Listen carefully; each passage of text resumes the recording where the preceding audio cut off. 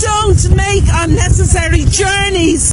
Don't take risks on treacherous roads. And don't swim in the sea. Incredibly, people have been spotted in the water here in Blackrock and Salthill both today and yesterday.